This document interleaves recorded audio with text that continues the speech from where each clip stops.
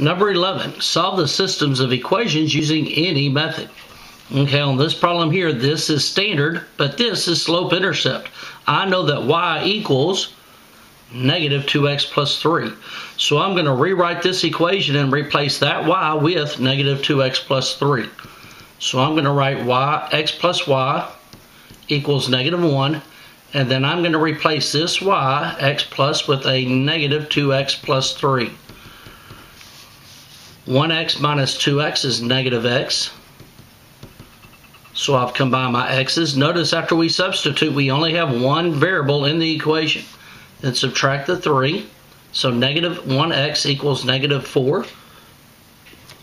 Okay, the next step is to divide the negative 1. So x would be a positive 4.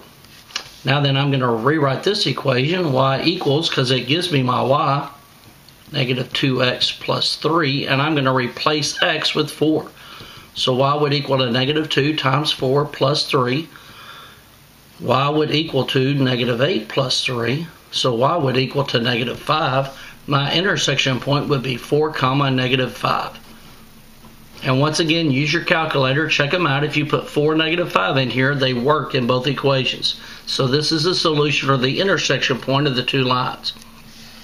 On this problem, the opposite of negative 2 is a positive 2. If I eliminate the x's, both of these are in standard form, so I'm going to eliminate, and I can make the y's opposite. The opposite of minus 2 is a plus 2. So if I make this y plus 2, the y's will eliminate. So I'm going to multiply everything in the equation by 2. Okay, 2 times 2x is 4x plus 2 times y is 2y equals 2 times 3 is 6. Make sure you multiply the constant by the 2. Then write down the next equation. Don't change it. The y's will eliminate. 4x plus 1x is 5x. 6 minus 1 is 5. Divide by 5, you get x equals 1. I could use either one of these equations. I'm going to use the top one. 2x plus y equals 3. There's no negatives. And I'm going to replace this x with a 1.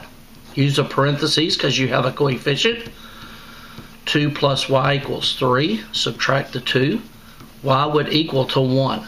So my intersection point would be 1 comma 1. And if you put 1 and 1 up here into the equations, it would work.